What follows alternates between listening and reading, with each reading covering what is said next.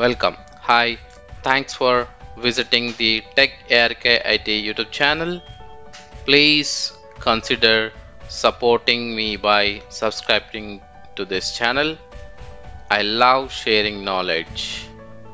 However, it takes a lot of my time and effort. Please join the channel so that you will get early access to the content and special courses only available for the joined members which are not available to the public. If you are enjoying my content please spread the learning by telling your friends family and co-workers about the tech ark it youtube channel. If you are looking for the training you can contact me on my email address aravikumar48 at gmail.com are you looking for help in linux storage and monitoring related projects? Join our whatsapp and telegram groups. Links are in description below. Proxmox virtual environment complete course so we are going to dive into the complete course so exactly what is proxmox virtual environment? So it is a open source virtualization environment. You can run VMs as well as containers. So that is the beauty of the proxmox virtual environment. So you can run virtual machines as well as the containers single web-based interface. So you can manage the entire infrastructure from the single web-based infrastructure. And it holds the high availability cluster manager. So you can set up multiple servers and you can enable the availability on this. And you can also have the cluster enabled so that what happens you can migrate the virtual machines from one physical host to the another physical host and you can shuffle the uh, containers in between the resources. So that's the major uh, feature available on this Proxmox virtual environment. Built-in services like firewall and there is no external backup application is required to backup your containers or the virtual machine. So it has the inbuilt backup and restore feature. You can attach the additional storage to that virtual environment and you can backup over there.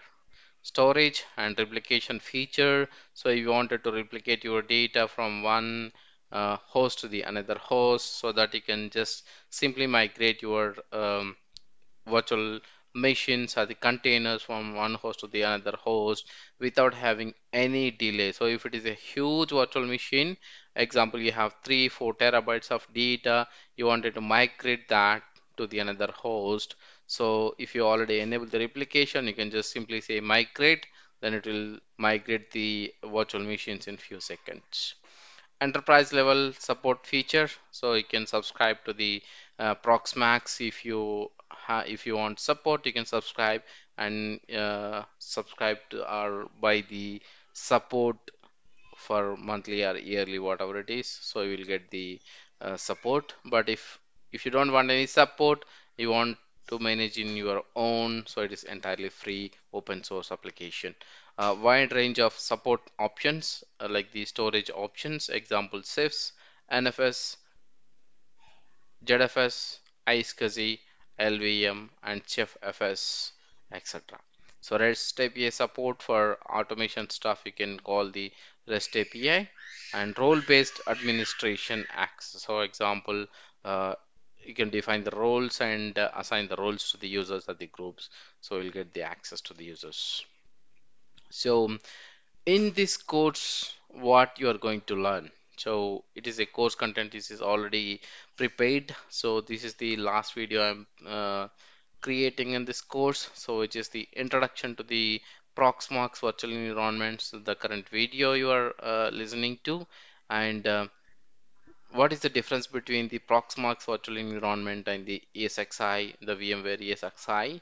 Uh, setting up the lab. So here you don't need to buy any physical machines. Uh, so I'm going to have tell you the trick how you can install this lab on your VMware workstation so that you can work it as a your lab setup and installation of the uh, Proxmox virtual environment, web console overview, creating the users and providing the access so that you can create multiple users and provide them the read-only access or admin access or the storage admin access whatever it is and enabling the multi-factor authentication. So example how you can enable the multi-factor authentication to secure your authorization and authentication and creating the VMs creating VM templates creating containers creating container templates working with CLI so that it has a great feature, uh, the great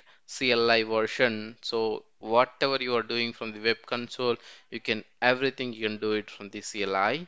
Understanding the snapshots and you can take the snapshots and back up the VMs and the containers, how you can back it up and restore them when there is a disaster, how we can do that and shared storage how you can assign the shared storage mounting the shared storage on the multiple virtual the environment virtual environment are the physical servers and uh, move your uh, VMs and the containers in between the multiple host. And Ceph storage how we can enable the Ceph storage and uh, networking stuff and uh, enabling and joining the cluster multiple host to the cluster and enabling the HA environment and the configuration of the HA environment and how HA works. Example so if the host goes down how the HA works. So that would be a great demo purpose uh, in this course. And ZFS replication so how we can enable the ZFS pool replication uh, so how that helps in your virtual virtual machines migrations or the containers migrations um, firewall rules so you can define your own firewall rules. So this is firewall rules can be defined on the objects. Example you can define on the uh, data center level or the physical host level as well as the containers levels as well as the virtual machines level. So that's the granular permissions you can or the uh, firewall rules you can write it over here. So that's one more thing.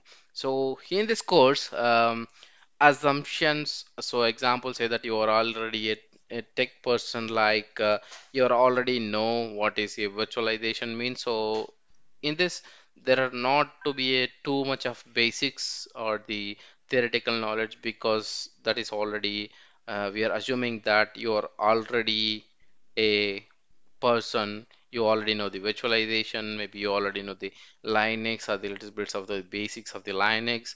Uh, maybe you already know computer hardware basics little about what is ram what is cpu and uh, how this uh, computer basically works. Um, so little basic information about the vmware workstation like how to create the virtual machines and the assigning the network stuff all this stuff and uh, a little bit about the containers and the storage and networking side so these are all the assumptions that you already know little bit basics all of this stuff. Um, if you do not know anything about that so that's not a problem. But if you have a basic idea on those topics that would be added advantage for you.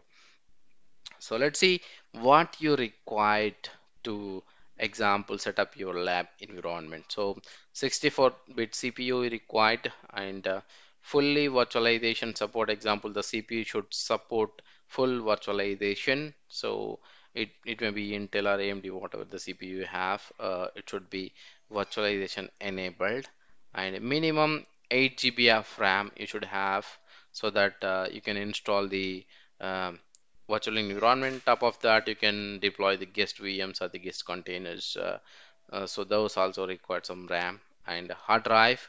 So maybe if if you have 250 GB of uh, hard drive or the 100 GB in between, so that would be fine. Uh, network interface card, so that not a problem. So anyway, if you have the uh, hardware network, so network interface card should be exit. Uh, and CD DVD burner or USB thumb drive in case if you want to uh, write your ISO file to the uh, USB thumb drive and install on the physical machine. So this is required. But if you are going to set up your environment on the virtuali in virtualization environment, so it was not required any CVD burner or the um, USB thumb drive uh, we can directly attach the ISO and install it uh, note okay so there is a note is that in this video series I'm going to use the VMware workstation instead of physical server. This method strictly not recommended for production deployment. So uh, this is a demo purpose the VMware workstation I'm using. So but uh, if you want to deploy the similar way for the production so you have to use the bare metal server or the physical server to install the uh, Proxmox virtual environment so what is the software requirement you need to have? So you have to download the uh, virtual environment the ISO file from the website Proxmox. You can visit this site Proxmox uh, English uh, en slash download slash category Proxmox virtual environment okay? And you need a web browser uh, example any web browser should work but uh, IE you have little um, icon differentiation. Or the not the resolution is perfect but you can use uh, Firefox Chrome or Opera so that it, it works well. And OS images example like the Linux and Windows if, uh, so for the guest OS installations. And container images can be downloaded from the repo but if you have the any custom container images so you have to upload them to the um, after installing the Proxmox you can upload them to the containers list then you can spin up the container your custom container. Internet connection is required. Of course you need internet connectivity to download and update the packages or the upgrade the packages uh, which are exist already. So that's uh, about the introduction to the this course. So let's get started and uh, do that. So how we can install and configure the Proxmox virtual environment. For more updates, click on subscribe and click on bell button for latest notifications.